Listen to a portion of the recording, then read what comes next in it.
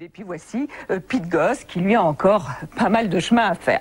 Alors pourquoi, me direz-vous, tant de pluie aujourd'hui sur le nord? Ben, C'est très simple, c'est parce que on a un ruban qui est à l'horizontale, un ruban nuageux, et ça n'a pas arrêté de défiler. Demain, lente amélioration, seulement cette perturbation va s'enfoncer vers le sud, et dans la matinée, nous allons la retrouver de l'Aquitaine jusqu'aux Alpes et jusqu'au Jura, où il neigera à partir de 1200 à 1500 mètres. À l'arrière, encore beaucoup d'instabilité, ce sont des giboulées.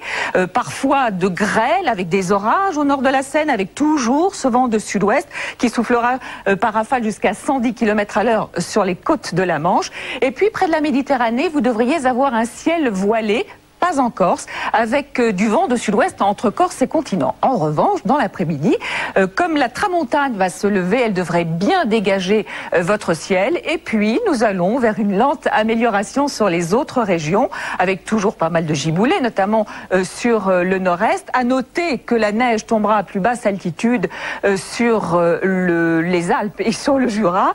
Et puis, dans le sud-ouest, là, vous aurez encore un ciel bien, bien, bien nuageux, mais a priori, sans précipitation. Les températures, eh bien regardez, c'est le scénario classique, douceur, extrême douceur d'ailleurs aujourd'hui euh, sous la perturbation et puis une petite poussée d'air un peu plus frais.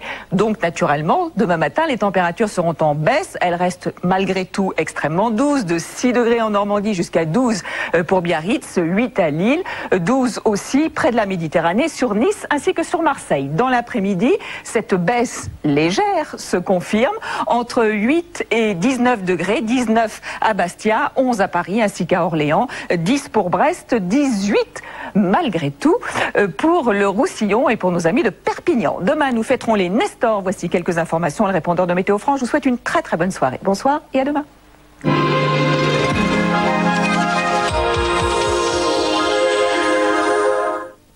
Qui habille?